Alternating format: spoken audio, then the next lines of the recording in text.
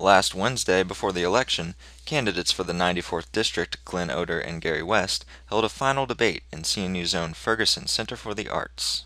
My goal is to listen to you, and my goal is to do what you want me to do to make you feel safe and secure and have a prosperous family right here in the city of Newport. The experience of knocking on people's doors and hearing what's important to them has been very, very rewarding. If we don't act in the very near future, we're not going to qualify for federal matching funds. We've got to make sure that Virginia is not in a situation where we bypass federal stimulus dollars for infrastructure improvements.